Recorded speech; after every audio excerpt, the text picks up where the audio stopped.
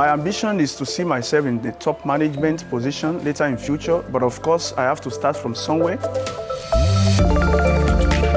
My name is Bisola Biodun Bello. I'm originally from Nigeria. I've been working with Bleckmann for over six years.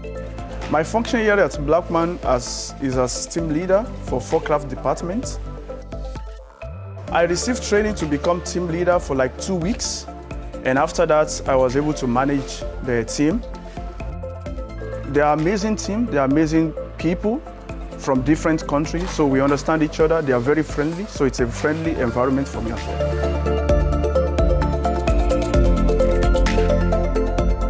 as a team leader, you have to be hardworking, you have to be flexible, and also you have to be creative because with this, you can able to manage the team and you have to be friendly.